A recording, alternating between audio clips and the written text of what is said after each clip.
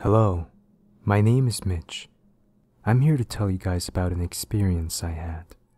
I don't know if it was paranormal or whatever stupid words people use to describe supernatural phenomena, but after that thing visited me, I believe in that paranormal trash now. A week after I moved in with my brother Edwin, after my house was foreclosed, I finished unpacking. Edwin liked the idea of me moving in, since we had not seen each other for 10 years, so I was excited too. I soon fell asleep after I moved in.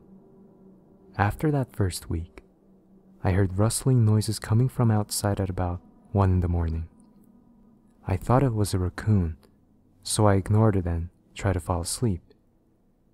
The next morning, I told Edwin about it, and he agreed.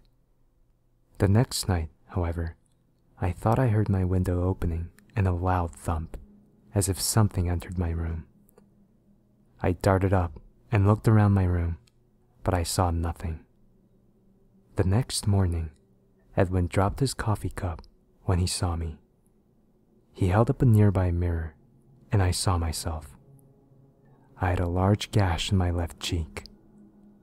After I was rushed to the hospital, my doctor told me that I must have been sleepwalking, but then he showed me something that made my blood turn cold. He lifted up my shirt to reveal a sewn up incision where my kidneys were. I stared into his eyes, mine widening. You somehow lost your left kidney last night, my doctor told me. We don't know how, though. Sorry, Mitch. The next night was my breaking point.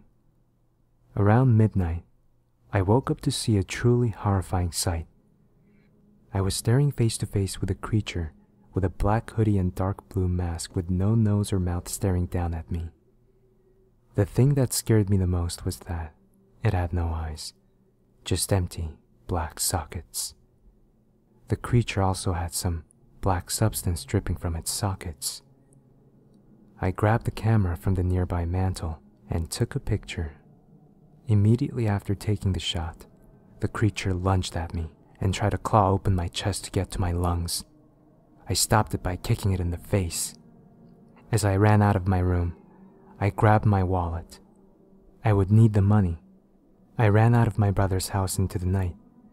I eventually ended up in the woods near Edwin's house and tripped on a rock.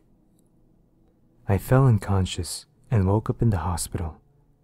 My doctor, the same one who treated me before, entered the room. I have good news and bad news, Mitch, my doctor started. The good news is that you had minor injuries, and your parents are going to pick you up. I sighed with relief. The bad news is that your brother has been killed by some thing. Sorry. My parents took me back to Edwin's house to collect my remaining belongings, which I did. Upon entering my room, I was scared but remained calm. I grabbed my camera and then stopped dead in my tracks. In the hallway leading to my room, I saw Edwin's body and something small lying next to it. I retrieved it up and entered my parents' car, not mentioning Edwin's corpse.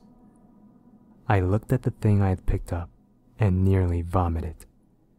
I was holding my stolen half eaten kidney with some black substance on it.